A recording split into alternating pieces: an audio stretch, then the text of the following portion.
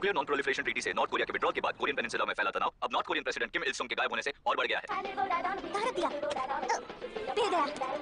चलो चलो, हम चलते हैं, चलो, घूमने चलते हैं।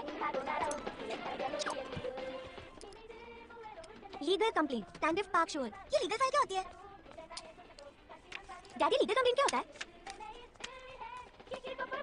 मैं स्कूल जा रहा हूँ डैड मैं स्कूल जा रहा हूँ डैड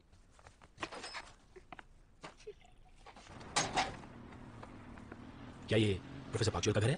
हाँ पाचू मेरे डैड है। क्या वो अंदर है? डैड? क्या आपका नाम प्रोफेसर पाकचुल है? मेरा नाम जैंग स्यूक जू है नेशनल असेंबली डिफेंस कमेटी से।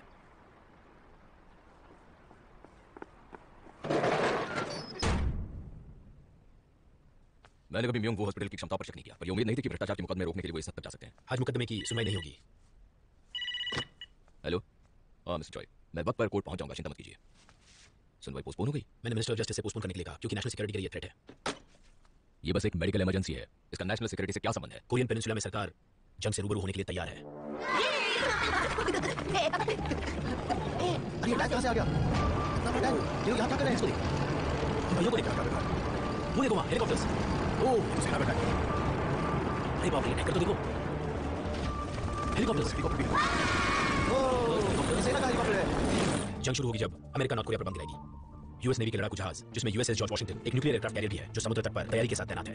लेकिन अमेरिका ऐसा अटैक क्यों करेगी? वो Yongbyon nuclear power plant bomb करेंगे। यूएस नहीं चाहता कि नॉर्थ कोरिया परमाणु हथियार बनाए पर बॉम्बिंग शुरू होने के बाद नॉर्थ कोरिया भी अपना जवाब देगा और ऐसा होने पर एक बहुत बड़ी जंग दोनों कोरियाज के नॉर्थ और साउथ के बीच शुरू हो जाएगी। पर वजह क्या है? मैं तो बस कार्डियोलॉजिस्ट हूँ जिसको सिर्फ़ हार्ट के बारे में पता है ये सब क्या है? ये सब आप मुझे क्यों बता रहे हैं? सिर्फ़ आप ही। इस जंग को रोक सकते हैं प्रोफेसर पाक भागो भागो चलो जल्दी जल्दी भागो। निकलो यहाँ से। जल्दी भागो। भागो यहाँ से भागो। मैं स्कूल से वापस आ गया।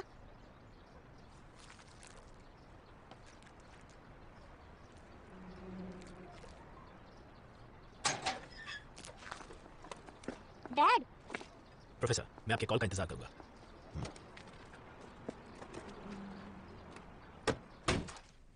हॉस्पिटल नहीं गए, डैड। आपके जाने से पहले हम लंच करें। आज मुझे आने में देर हो जाएगी। फ्रिज में रखा खाना खा लेना।